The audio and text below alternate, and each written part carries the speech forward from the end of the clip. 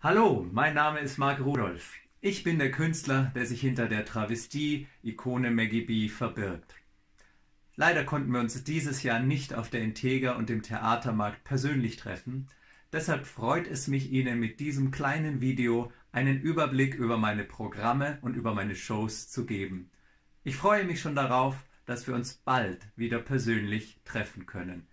Maggie B ist entstanden nach meiner Ausbildung auf der Schauspielschule. Ich war drei Jahre in München auf der Internationalen Schule für Schauspiel und Acting. Ich kann selber die Texte schreiben und kann damit die Menschen abholen, sie in eine andere Welt bringen, zum Lachen, zum Weinen bringen, ein bisschen zum Schmunzeln und sie rausnehmen aus ihrem Alltag. Und das war mir wichtig.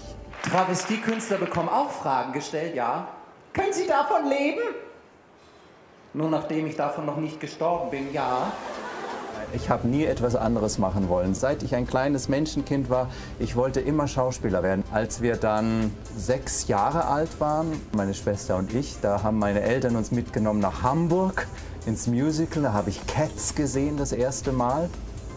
Und in der Pause war ich weg, aber ich war da schon auf der Bühne und musste das alles untersuchen und habe versucht, da schon hinter die Bühne zu kommen. Also die Bühne war immer ein Teil meines Lebens.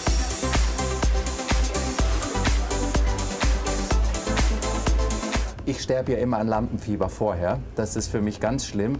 Aber sobald ich draußen bin und sobald ich die Menschen sehe, wie sie, wie sie lachen oder wie, wie sich Ehepaare anstupsen und sagen, ja, genau so ist es. Das ist doch wunderschön. Und wenn dann vielleicht noch mal das ein oder andere Tränchen im Auge glitzert, ja, was willst du mehr erreichen als Mensch? Andere Menschen einfach mal glücklich zu machen. Die Verwandlung von Mark zu Maggie dauert zwei Stunden.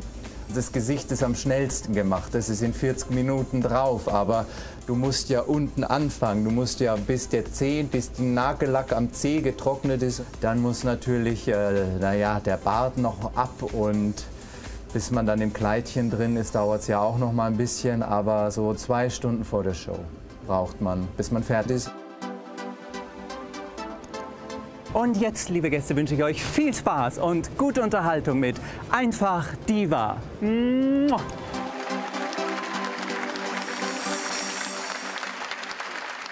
Ja, ich muss jetzt ein bisschen anders arbeiten. Wir haben Kinder da. Rotkäppchen geht durch den Wald, kommt der böse Wolf, klar, wer sonst, und sagt, du bist eine blöde Kuh.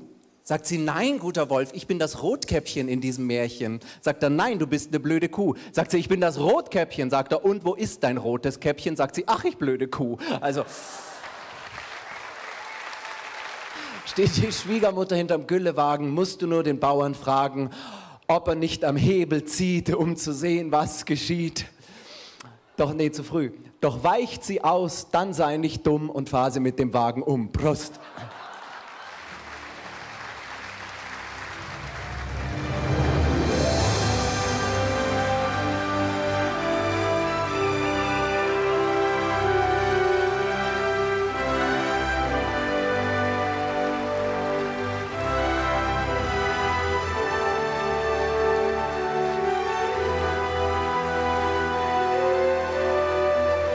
Hört nie auf, an eure Träume zu glauben. Ich bedanke mich, ihr wart ein tolles Publikum. Bis bald. Ciao.